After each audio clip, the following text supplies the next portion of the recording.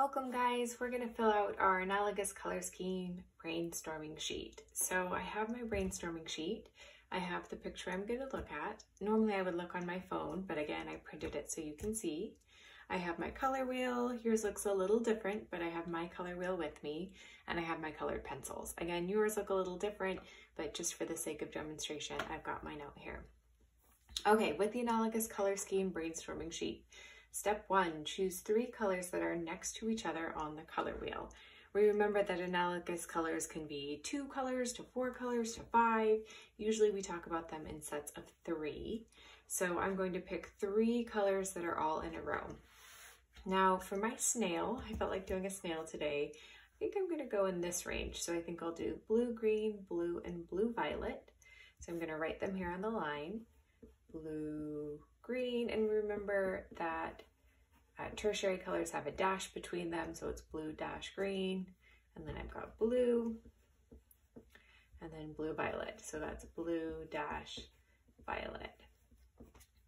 Okay, if I need a fourth color, I'll probably add on green. So I might green, write green in parentheses there just to remind me. Okay, cool. So I can set this aside for now.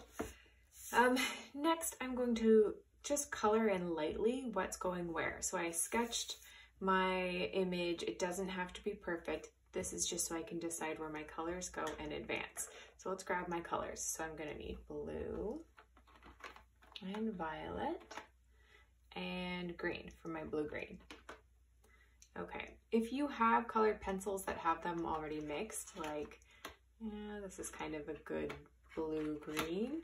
Well, actually, maybe not.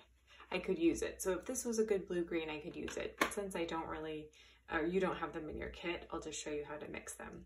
So now I'm gonna lightly color them in. Um, I think I'm gonna start with my blue-green background. So I'll just do a layer of blue and then a layer of green. All right, here I go.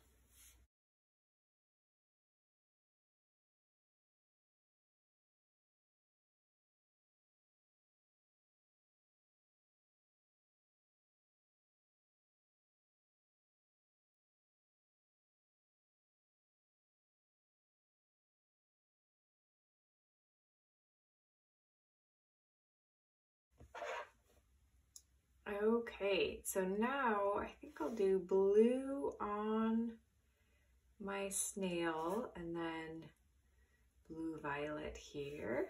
And then I changed my mind. I might make these stripes green or I might make them violet, but let's go ahead and get some blue on there.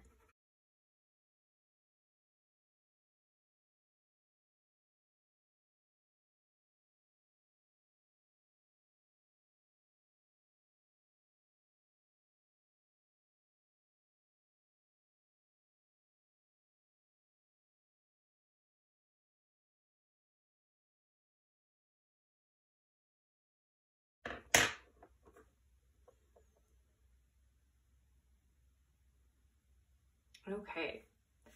And this is so light. I could leave this white. I might make it a really light violet and then make the stripes a really dark violet. It's okay to change your mind. When you're doing the brainstorming sheet, it's so you can be planning your attack. And maybe you have an idea at the beginning that you think is going to be good, but then once you get going, you realize that you might want to do something else.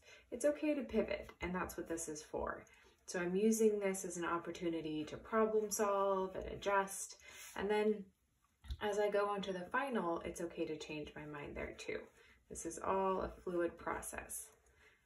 Okay, and I'm just doing enough to remind myself of what is what. So I'll do a couple of purples just so I remember. Purples go here, and then maybe I'll make this kind of a light violet to remember that I'm gonna do um, I'm going to do a white plus violet, so I'll do a tint of violet on the shell.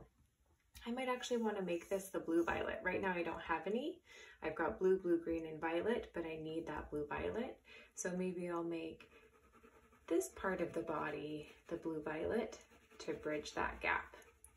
We're just trying to have three or four colors that are next to each other um, in this picture. Okay, well I've done some good thinking here, some good brainstorming. I've used at least three colors in a row, actually four colors in a row. I have a good idea of what I'm gonna do. I'm gonna add a couple more stripes and then I'll take a picture and turn it in.